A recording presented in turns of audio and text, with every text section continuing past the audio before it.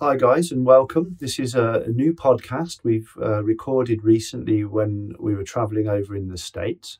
Uh, we were introduced to retired Colonel Ramon Tony Nadal, it goes by the name of Tony, uh, by Major General Ken Bowra, who's a good friend of the team, and we were staying uh, with him and working with him while we're over there in the States. And uh, one afternoon, I got the chance to call uh, Tony and uh, record an hour's interview with him, which you're about to watch. And what makes this special is is um, he was based um, in U.S. Special Forces, and he'll go into uh, how that came to be. And in 1963, he was the A Team commander um, at the Nam Dong camp. And Nam Dong camp is is famous because the first uh, Medal of Honor in the Vietnam War was was awarded to uh, Roger Donlon, who was the uh, the um, the A camp commander who who uh, succeeded uh, Tony. Tony trained him up, and he talks a little bit about that.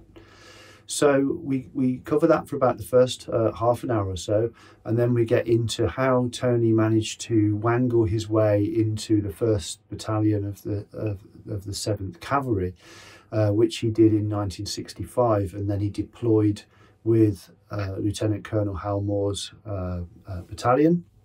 And you'll, if you watch the film We Were Soldiers, um, Tony is the is played by an actor, and you can tell it's him on LZ X-ray in the battle because he's actually got the Special Forces flash on his on his shoulder, and he's the only uh, guy you'll see with that flash during the battle, and for you know for obvious reasons, the rest of the guys are cavalry.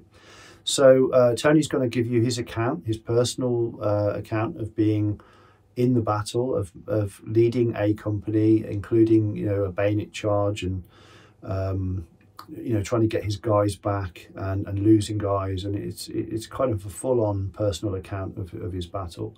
Uh, he's he's given uh, lectures to war colleges on this battle. So um, he he's the best guy to explain it. I think he's he's really spent a lot of time thinking about it. Uh, for those that have obviously watched the film, uh, you'll be able to um, listen to this and then maybe rewatch it and, and get a different insight into it, um, having heard from a first-hand uh, account. Um, towards the end of the podcast, uh, Tony talks about his time going back to Vietnam and meeting the NVA guys that were opposing him on the day during the battle, and I think that's quite a moving part of the podcast. So anyway, I hope I hope you enjoy it, and, and we're very grateful to to Ken and Tony for organising the interview, and uh, um, and and here it goes. I was commissioned in uh, June of 1958, right at West Point and and uh, there wasn't really a sort of known special forces then uh, because of you know it was kind of Kennedy came out and said we're going to do this. Is that is that? I uh, when I uh, graduated, I went immediately to the infantry school. Uh, then I went to Ranger School. Then I went to Airborne School, and then I went to Germany to uh, an infantry platoon and a recon platoon. I commanded the the uh, about the time I was due to come home, I learned that we had American Special Forces folks in Laos. And so I immediately wrote the, the uh, infantry branch in Washington and volunteered to join Special Forces.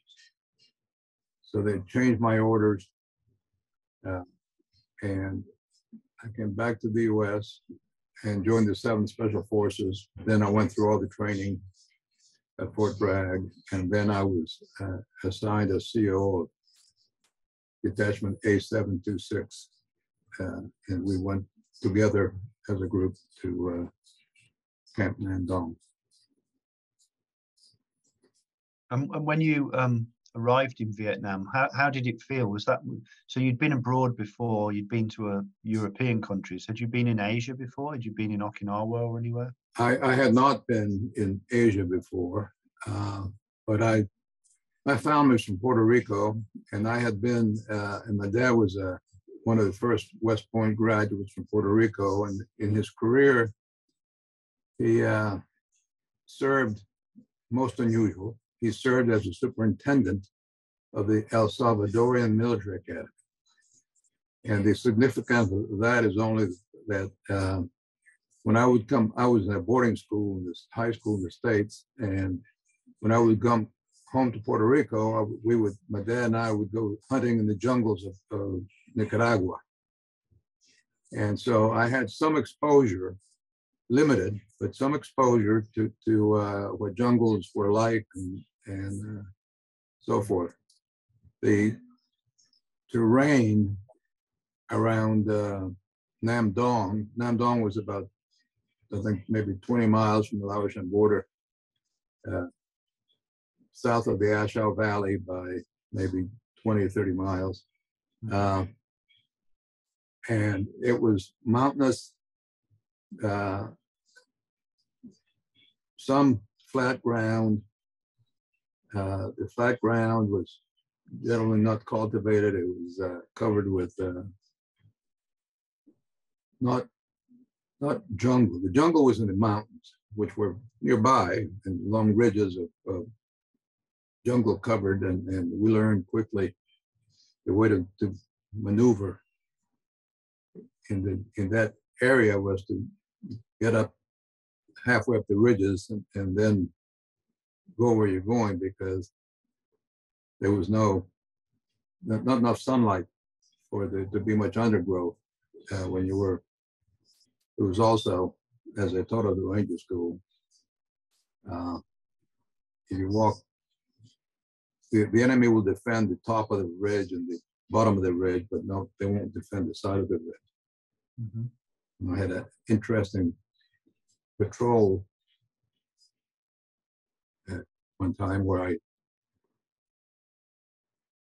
through air recon, I found what looked to me like a possible enemy camp and we led patrol. Two nights to get to the place. They discovered us just before we, we were 100 yards from the camp when, when they discovered us and, and uh, they were all fleeing the camp. And so I, myself and a handful of others, uh, stayed in the camp, cold, wet, rainy night, uh, and set up. Then the following day they came back in. and We set up a bunch of claymores, and then ran like hell.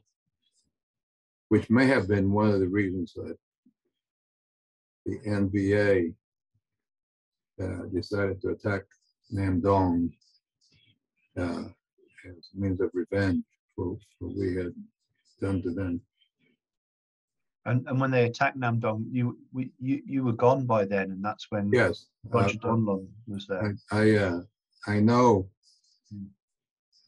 uh, a bit about how that went because Roger and I have had remained friends, and and uh, so he and I have discussed it, but I was not there. Mhm. Right. So you so you did a tour, what a six month tour.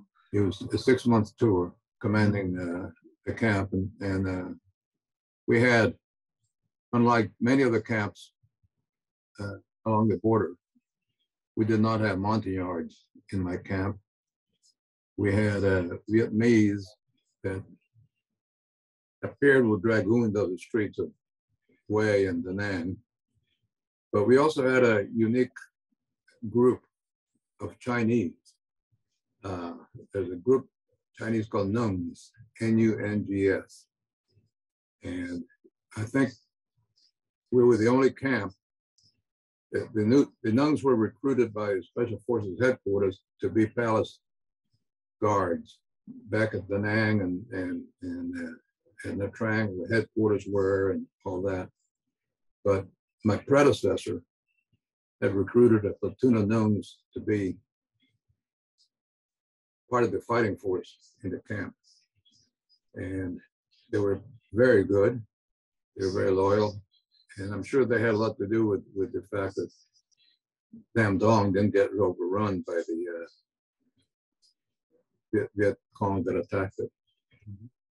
So so what was um what sort of level of VC activity did you encounter during your six months? Uh, it was primarily um, activated, I, I guess, by us. Mhm. It was, uh, we, we spent our time patrolling, uh, do, you know, doing the, the, the village of Nam Dong. I would guess maybe two thousand souls there. Uh, and so we did a lot of civic action stuff and other stuff like that. And there was a little, there was also across this river that there was, um, on the other side of town, there was a small base of the North Vietnamese, or the, excuse me, the South Vietnamese Army. Uh, and they had, I think, two howitzers there. Uh, but they never did much of anything. Fired them, uh, whatever. But the, um, all the actions we had was initiated by my detachment with the concurrence of the South Vietnamese people and soldiers there. And it was primarily pa- patrolling and night ambushes. Except for the, the, the biggest event was the one I told you about, finding the scamp and then doing a stay behind patrol and waiting for him to come back and then blowing the claymores and running like. So, so if you're that far up in the Highlands at the time, um, is it fair to say you didn't really have much uh, use from helicopters? It was all sort of driving in in trucks and. and Oh, kind of the, um, we use helicopters rarely. Uh, we use them certainly for, for medevac on a cou- couple occasions. We had some wounded Mhm. and the, uh, but most of our stuff, we, we would have to open a road. There was a road that led from, from uh, the village of Nam Dong out to Highway 19 uh, along the coast.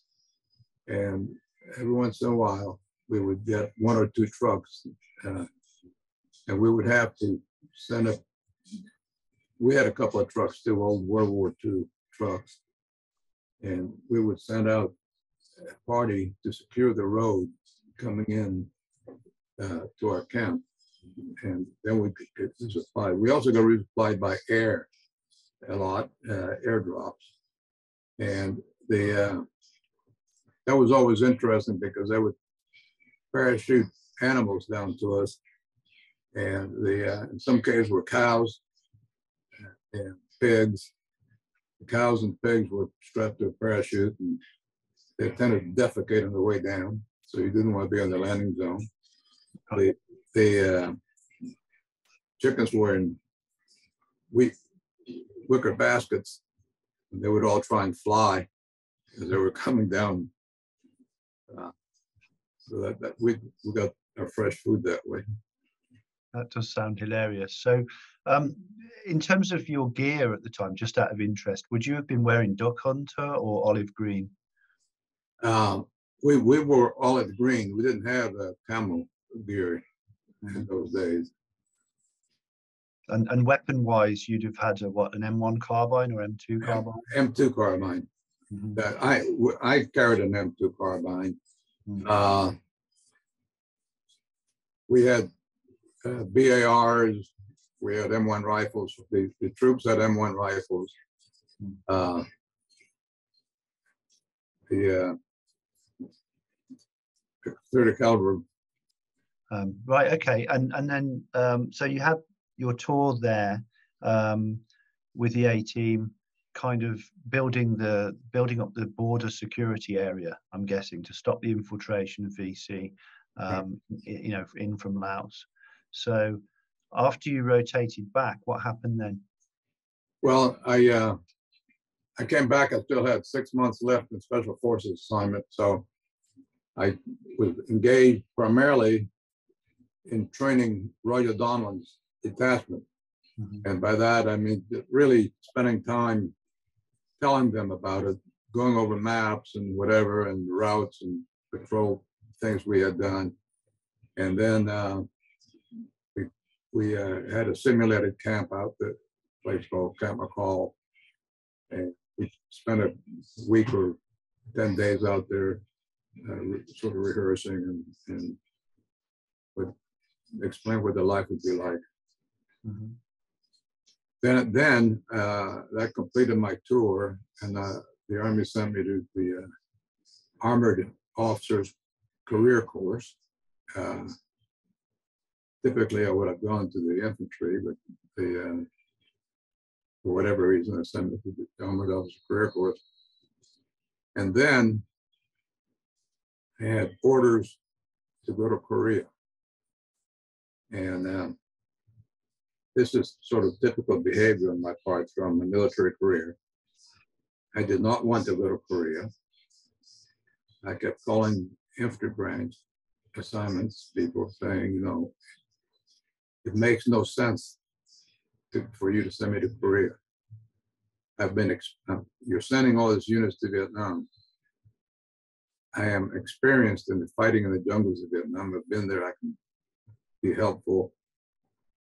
I had a footlocker, literally, a footlocker full of uh, books on counterinsurgency that I'd read, and to include the British Small War Small War Manual, which was, by the way, the best of the of the books I had I had read to prepare me for mm-hmm. uh, going over there. Two days before I was supposed to go to Korea, I uh, got a phone call at 4 a.m. which said, uh, "Need you in 48 hours. Uh, we need you to report to Fort Benning." And I said, "Fort Benning." What the hell is happening to Fort Benning? I don't want to go to Fort Benning. I want to go to Vietnam. The guy says to me, shut up and go to Fort Benning. And I did.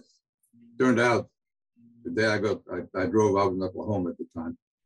It, by the time I got to Fort Benning, President Johnson came on TV and said we are assigning the 1st Cavalry Division to Vietnam. And, but there was no 1st Cavalry Division. Uh, there was a brigade that had been used to test the assault concepts and whatever. So it was a crush of people coming in to get assigned. They wanted to assign me as a signal officer for the First Brigade. I told them I, I don't know squat about being a signal officer. I have a combat influence badge. I've been in the jungles. I know what to do. I can help train these people. And uh, the guy told me, shut up and do what you're told. I didn't. I uh, went out and a friend of mine told me about Hal Moore in the second, seventh Cav. So I went over to see him. He uh, interviewed me, said, "Gee, I'd like to keep you, but I, you know, I'm just a lieutenant colonel. Uh, go see the brigade commander. Went to the brigade commander. The brigade commander called the personnel boss of the division, the G1 as we call And he said, Hey, I have this captain here. It's just a phone call, which I listened to because Colonel Brown was named the CEO, put on speaker. I, I have this captain here named Nadal, and the guy says, Where is that son of a bitch? He was supposed to be in the first brigade. And the, uh, they finally settled my future by letting me stay with the first Cav, I mean, with the first of the seventh, Hal Moore, which was absolutely uh, the Colonel, eventually Lieutenant General Hal Moore was the best soldier I've ever served under. Just a wonderful, wonderful guy. Abided by all the strictures of duty on our country. So you so you went out to Vietnam with with his unit then, and uh, to become um, the first Air Mobile Brigade. Is that right? He com- he commanded the first and seventh Cav initially, first battalion, seventh Cavalry, and I was for about a month. I was the intelligence officer, the S two, and then I took command of a rifle company, infantry company, which I did for six months. Then became the operations officer of the second battalion, seventh Cav. Um, still in the same brigade. We had lots of, uh, you know, we're obviously the Battle of LZ X-ray and the subsequent events of uh, next couple of days are what people think about when they hear Seventh Cav. But we had big fights uh, in January and February and uh, March in the valley called Bong Son uh, Bong Son 1 and Son 2. Uh, that was fights against combined NVA and, and uh, native, you know, Vietcong. What, what area was this um, in? Uh, it's it was in Tukor, uh, and it was north. The Bong Son is sits right. It's a lovely area uh, on the ocean, beautiful beach. Uh, then then you have this big flat uh, rice paddy fields, but it's surrounded by a big mountain mountain ridge. So there's there were several villages in this valley with, with the ocean on one side and the big ridge on the other. And the uh, we air assaulted in there uh, once in February and we're there for a month. Took some some number of casualties. Uh, there was a famous cover. Life magazine had a cover of a soldier with a bandaged head, and it was taken. I know that was when I was the commanding officer still. Uh, and that that was in a cemetery where we got pinned down for a while. But then we had we went away and then came back about a month and a half later for a second go in. So um, when you deployed with the CAV, um, from what I understand, they had M16s at this point. Right. By that by this time, we had jungle fatigue and jungle boots and, and uh, no, we didn't have jungle boots. That was part of the pro an issue became we hadn't been issued them. And the uh, after I took over my company, I noticed that the uh, the soles we have the old fashioned boots, the leather boots with a stitched sole. Well, the constant moisture, the stitched soles were rotting out, and the sole flap mm-hmm. as they walked along, and, and, we were using medical tape to tape the things together. Finally, I sent my life sergeant and two bottles of bourbon down to Anne, and he came back with uh, boots and uniforms.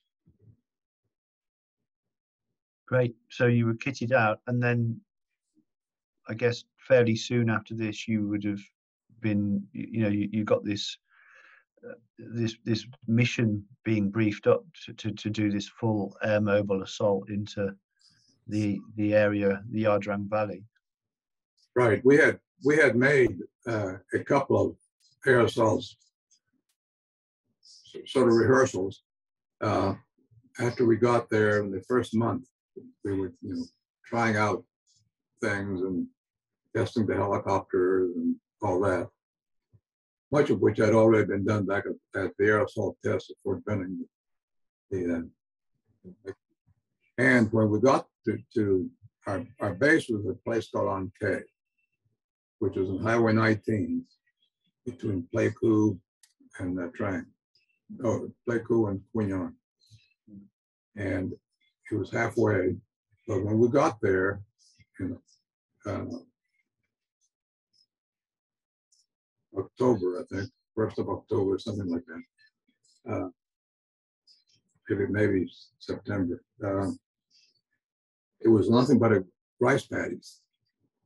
Uh, so we had to build a camp and the uh, you know lay the barbed wire concertina fences all around and register the artillery and we were living in pup tents and small tents initially. Mm-hmm. Uh, and one of the one of the necessities was to keep the center of that rice paddy area. That would be the landing field for the helicopters. And you couldn't use heavy equipment to flatten that out because if you did that, you would expose the dust and dirt and the hot chocolate blades would get a lot of dust in the air, and that was bad for the engines. Mm-hmm. So one of the bizarre things was seeing a whole bunch of soldiers out there with bayonets cutting grass because we didn't have any other tools with, to use to, to uh, create what we became known as a golf course, Mm, just with all the, all the helicopter park. right. And and um, so when the time comes for the battle, you're you're commanding. Did you say B company? Joining A company, A company. Okay. And what was your role in in in the uh, what was the role of A company? well, the, uh, the first, uh, I have to back up. Mm-hmm.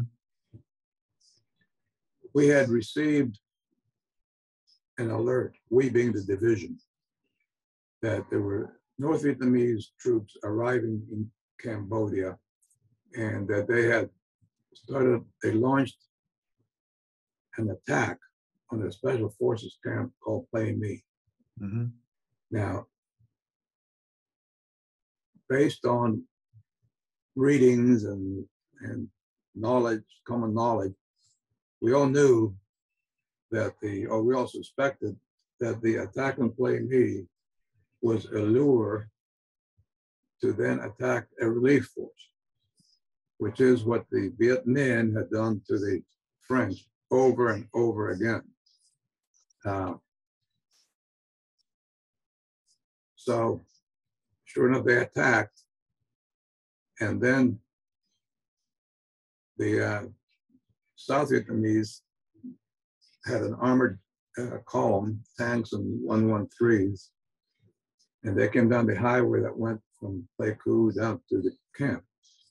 What the NVA didn't realize was by that time we were established and operating as first guy back at An Khe.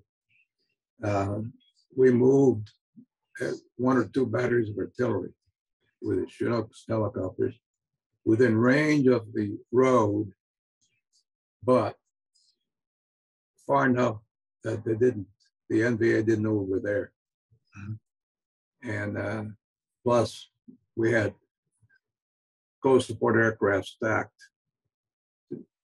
So when the envoy, when the South Vietnamese convoy came out the- that highway to the camp, they launched the NVA launched the ambush, and basically the Air Force obliterated them and our artillery, uh, and there wasn't much.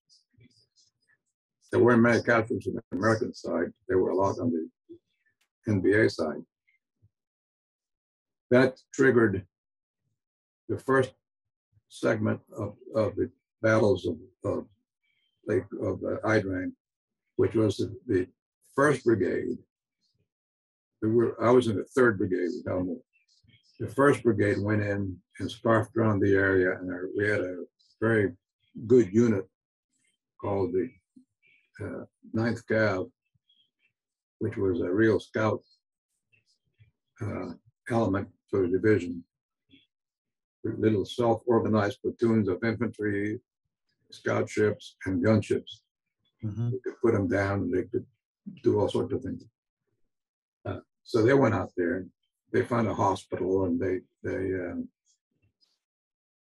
had a wonderful ambush one night where they almost uh, got overrun. There's and there's a story associated with all that, what happened and why and so forth. After two weeks, they took them out and brought us in. And the third brigade, and our task was to find the enemy initially. But we were, we spent two weeks hacking through the trails and jungle and didn't find squat. And we were looking in the wrong place. Mhm. Finally, uh, we have about two days left before we get relieved by the other brigade, um, the brigade commander gets a report that there's some activity down in this, like this ridge called Chupong Mountain, the Chupong Ridge. And uh,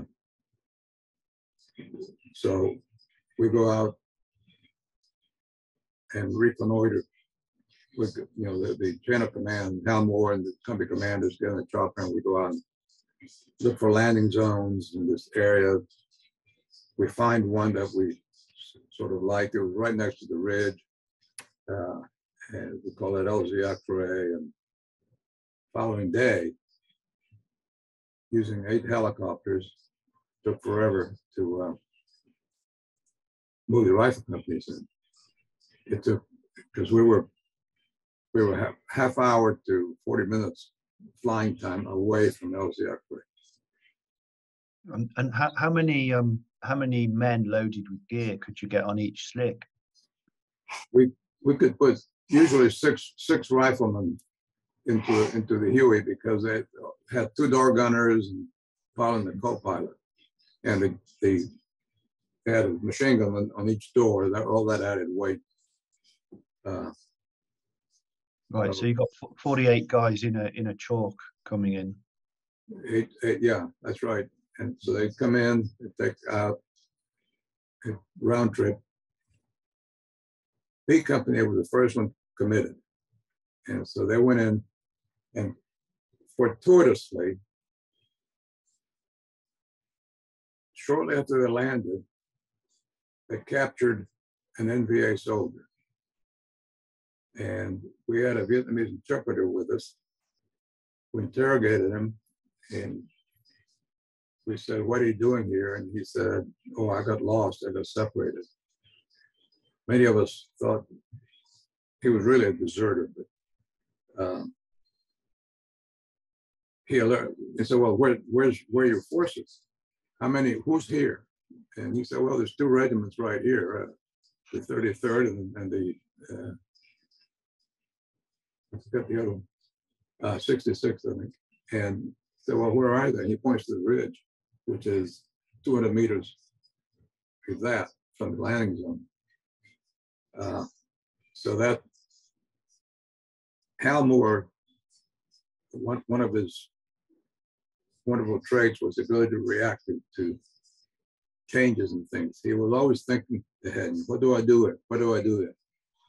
And uh, so what he did was change. Whoops, the mission now has changed. The mission is survival. And if we have to, if, if, if we lose this landing zone, we're asked to take us. Uh, got to hold the landing zone because that's where we're going to get resupplied. That's where we get the rest of our unit in, and that's uh, the way we take our, our wounded out. Mm-hmm. So the mission had been to, to Cloverleaf. Once we got all the battalion in, we reached take a sector, we'd go out and Cloverleaf. But that didn't happen. Uh, he put immediately put B Company on the side, and I was next to B Company, but I, I, had the company that was closest to the ridge line. And eventually, the enemy came down the ridge and they hit my second platoon. That was the first contact. And then C Company still hadn't quite landed all of its people yet. Uh, so we we were defending, surviving. Mm-hmm. Uh, we had good air support. We had a problem. I had a problem with my company with artillery support. And the problem, and this may be more detail than, than you're interested in. Uh, the problem was that the uh, there, there was one fire direction frequency for the battalion. And the B company forward observer was on it. And when my forward observer tried to get on it, they chased him off the air. we were, we were already doing a fire mission, whatever. Um, so the initial mission became get everyone in here, defend this landing zone. Well, what happened next was that B Company, Hal told B Company send a, re, a, re, a platoon out to reconnoiter. And that platoon went out and they spotted some Vietnamese and the impetuous lieutenant went running after them and eventually he then got caught off. So then the focus changed. We have to defend, but we rescue up the platoon. And the, uh, so And that, that was Sergeant Ernie Savage and the Lost that was Sergeant Ernie Savage was uh, one of my heroes. I mean, I, I felt quickly, here, here's a young 22 or 23 year old Sergeant E5. Uh, typically would not be a squad leader, he'd be a team leader in the squad. Uh, the platoon leader's killed, platoon sergeant's killed. Of command evolves down to Sergeant Savage. And from the time he took command to the following day when he got rescued, not another soldier died. He surrounded himself with artillery fire. Every time anything moved out there, he'd call an artillery strike on it. They were having to take, they ran out of bandages and dressings for the soldiers that were wounded, and they were taking those dead soldiers and put in on live soldiers. My, my story. uh, I had been in command for about thirty days when we went to LZ X-ray. So I didn't know the soldiers very well, or the non-commissioned officers. Uh, So when the, when we got in that fight, my mental attitude was you have got to prove to your soldiers you're worthy. And you've got to show them that you're going to abide by the rules you lay down. One of the rules I laid down was we will not leave, and, and this was also Hal Moore. We will not leave anyone behind on the battlefield. Uh, wounded or dead, we'll get you home. So when the battle starts, I'm still in the process of receiving my incoming troops.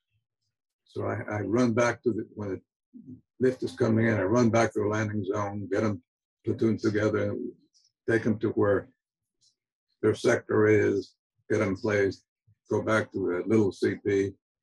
Next load comes in, I run back, pick them up. But in the meantime, there's a battle, you, you're moving, the, the, uh, my second platoon with a machine gun named Bill Beck, who's a super guy, uh, is getting the initial front of the, of the attack. And they're doing a lot of damage to the bad guys.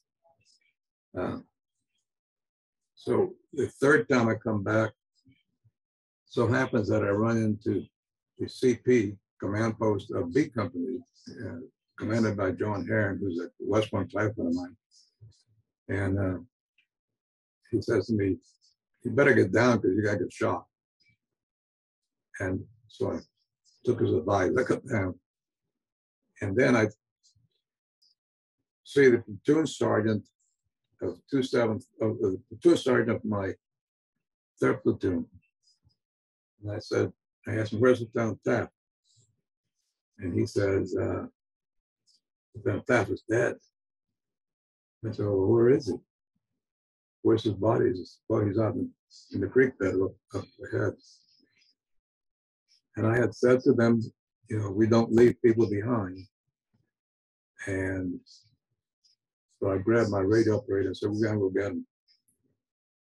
And forward. Uh, The enemy's out, out there. Um, I got in the creek bed, found Lieutenant Taft. He's dead, but I find another soldier who's still alive. Now, some, someone criticized me for this, which I can understand. In the heat of the moment, I grabbed Lieutenant Taft's body, my rate operator and was brought him back. But I knew full well that I had to go back a second time. So I went back a second time. This time they're throwing hand grenades at me. And the, uh, you can see, I could see the hand grenades going off right along the edge of the creek. They had this little sort of miniature German hand grenades, uh, wooden handle and, and the potato masher type grenades. but they didn't have a lot of explosive power. Anyway, I went back a second time, read the soldier was alive, brought him back, and they uh, he got medevac and he lived.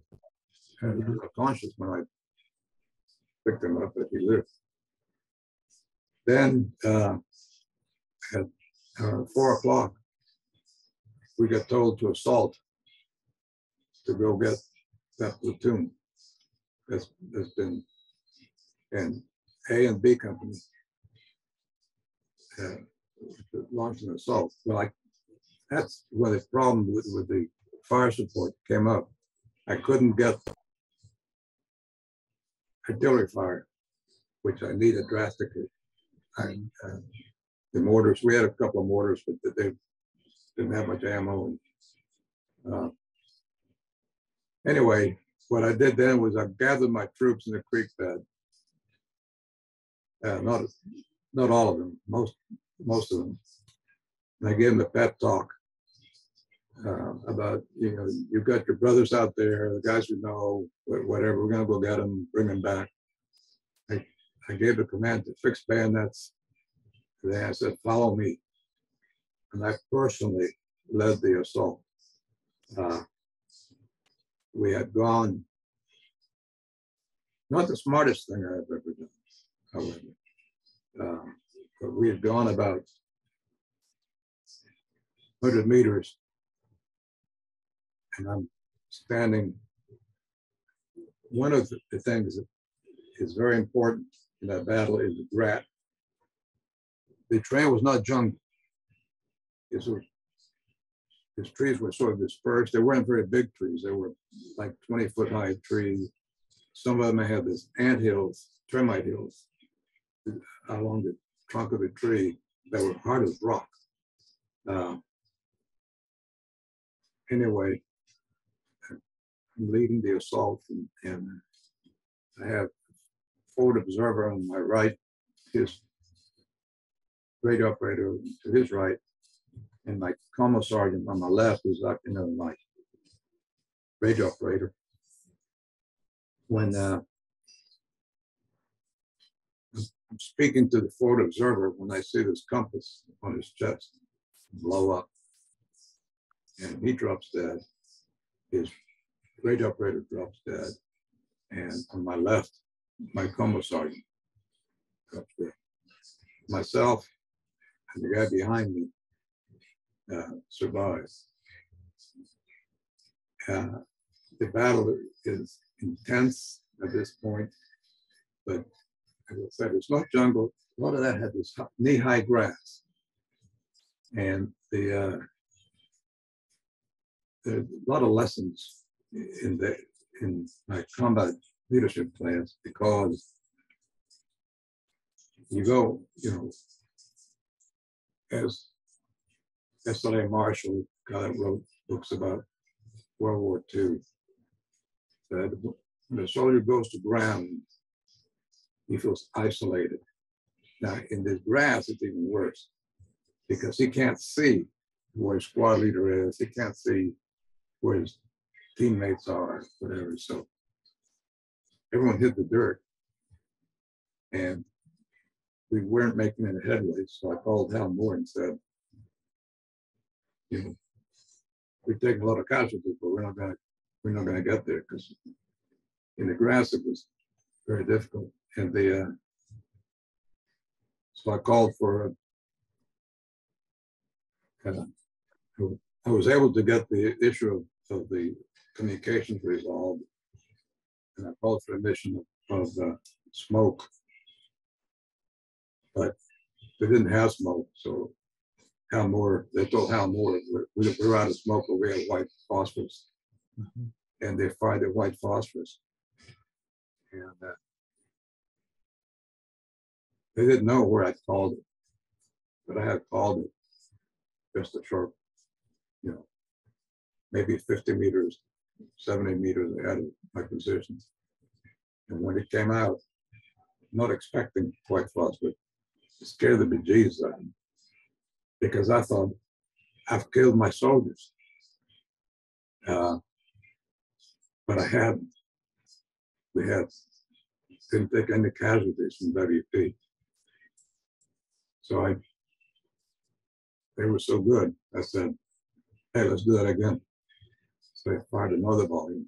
White phosphorus is much better than the smoke round. It's thick, great casualty, and it just lang, it just sort of sits there, doesn't blow away. Uh, so then I told my company to withdraw. I told them, well, we can't get, get there, so we're gonna get- go back to drink Bed. And he said, okay. And I stayed out there myself and I had grabbed, I grabbed another, another soldier, put the radio up on his back at that, that coma. And there was a, a second rate operator who was standing behind me. And he and I was unscathed.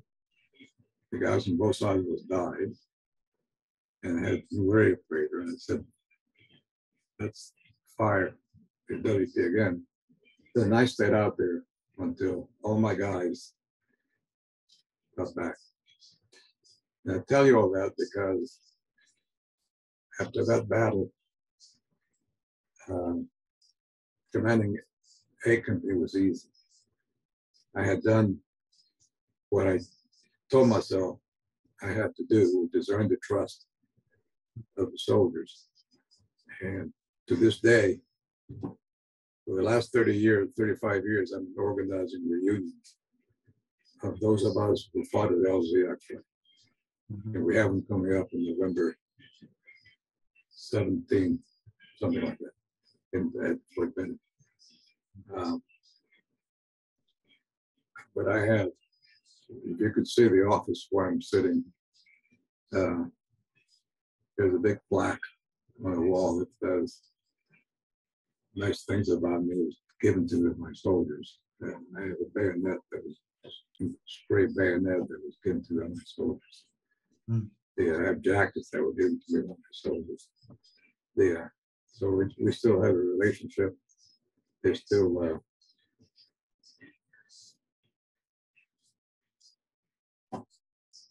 remember, uh,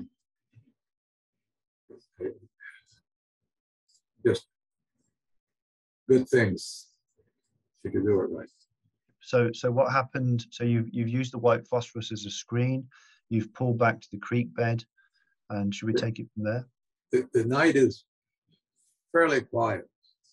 There, there's, uh, as happens, you know, you have your outpost out and then you all of a sudden you hear firing and some guy call uh, on the radio or the cell landline. And, uh,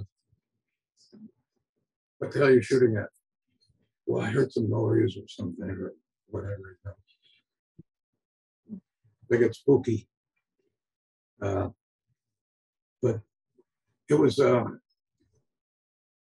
fairly uneventful evening. We got another, all, all our companies are deployed and, and around five o'clock on that day, uh, after my assault or whatever, the, uh, a company from the second seventh cav joins us. And they get put in place on my, on my left flank. So that strengthens, that, that's the avenue approach coming down the, the mountain. So we re- reinforce that. Uh, the following day, early in the morning, the, the most threatening event to us was the second morning when, uh, what was a full-size battalion assaults our C company. And, uh, one of the things I'll never forget is the C Company commander, Bob Edwards, calling on the radio. I've been shot in the chest and uh, I uh, need someone to replace me, uh, et cetera. And Hal Moore tries on two occasions to send someone, uh, a lieutenant, recon platoon leader, uh, to take over, but he can't make it across. He got shot trying to get across the landing zone. Uh, and the, but the, the company, C company does a great job. Uh, they, they hang on. All their, most of their, their NCOs are wounded. I think two of the three lieutenants were wounded. Uh, but they stay in fight. And so by noon time of the second day, things are we're getting reinforced. Uh, the second battalion, the fifth cav comes in, and they go out to uh, recover that lost platoon, and the enemy has withdrawn. It, it, there's no no real fight into them. Uh, then the third day, we get pulled out. My unit, my company, we were all under strength. The battalion was supposed to have something like 760 people. We had 400 going into L, the LZ. There are reasons for that. Uh, number one, we took with us anyone who had 60 days left in the army would go. But we went by ship, so it took 32 days for us to get there from, from South Carolina through the Panama Canal up to refuel in LA and had to drop a soldier off in Hawaii because he had got appendicitis. Then we get hit by a typhoon, so we had to turn around and go the other way. Anyway, it took a long time to get to Yarn. And so that all these soldiers that we took had been sent home and we had those replacements there. Mhm. And they, they uh, um, oh, and, and then there was the type malaria. The Army Medical Corps in, in uh, intelligence aspects of the Army Medical Corps screwed up because we were taking malaria pills, but it was the wrong type of malaria that was up in the highlands of Vietnam. There's a very virulent kind type of malaria called falciparum malaria that attacks the brain. And we had a lot of guys come down with that. Uh, then they thought the army woke up and we had to take two pills. And a big one and a small one to fight off the malaria. Hmm. Uh, so we had a combination of the malaria, with people rotating, so we were under strength.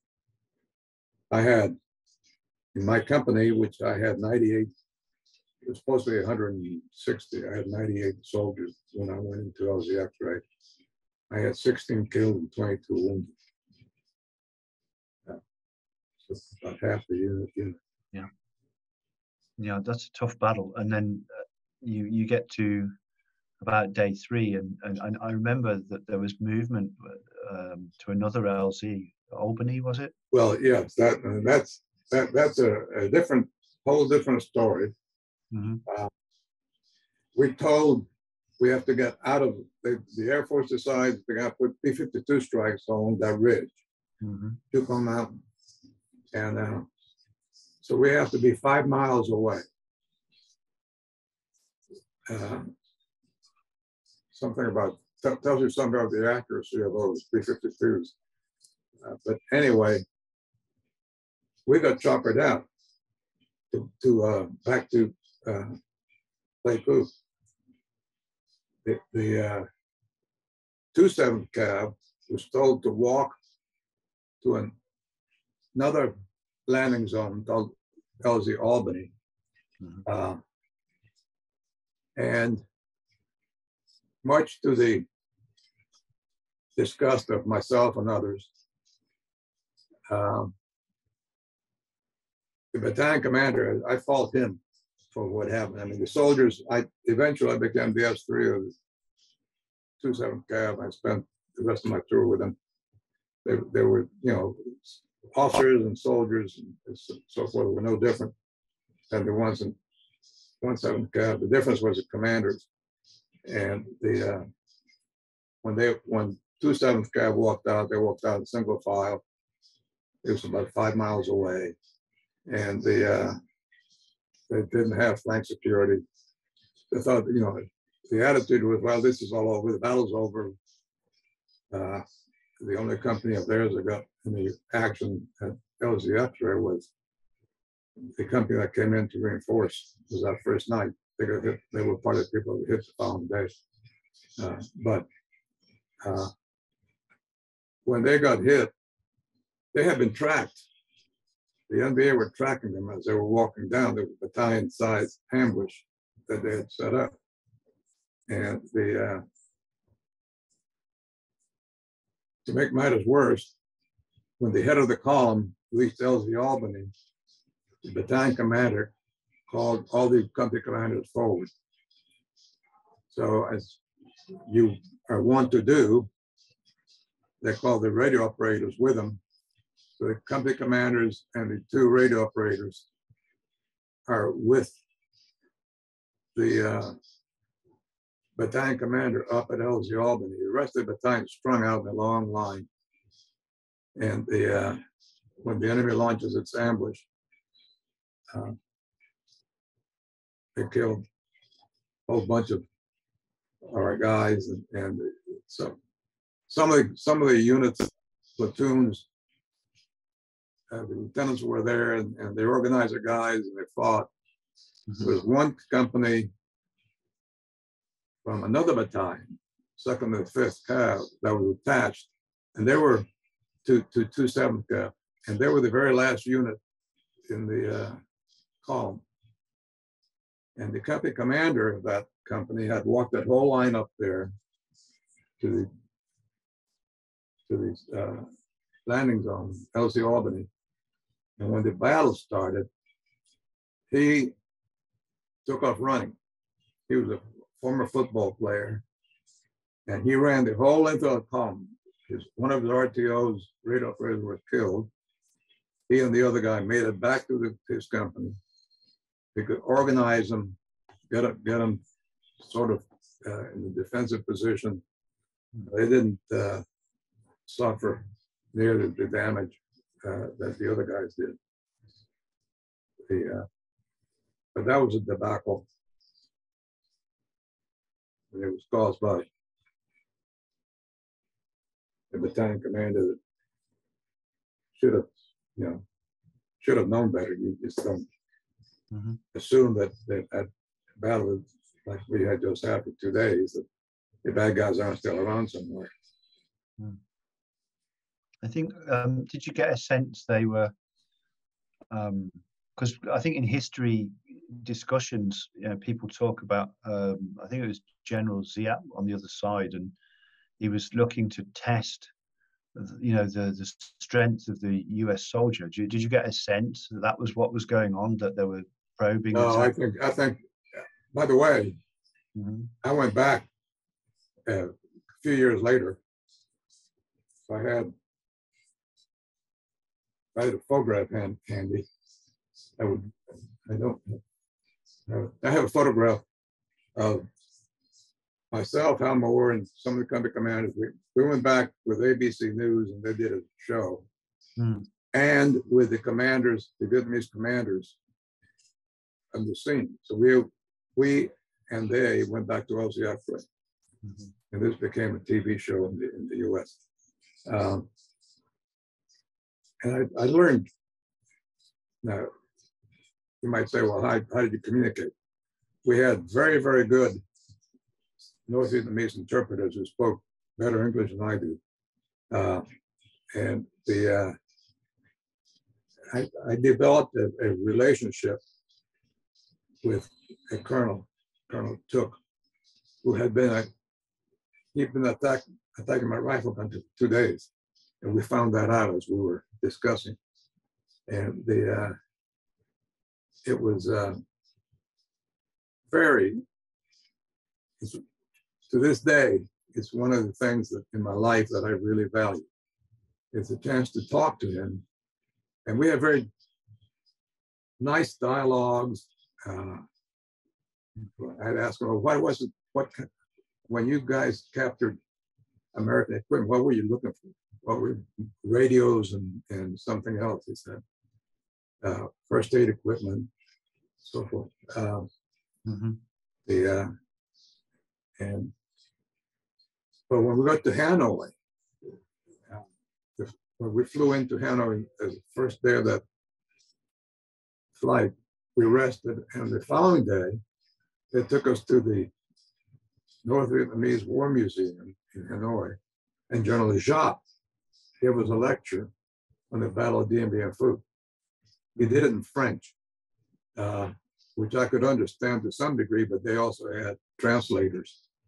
Uh, so I consider that, uh, you know, one of the, uh, the whole trip was just super for me as, as someone who likes to read military history and to hear General Giap talk about Dien Bien Phu uh, was was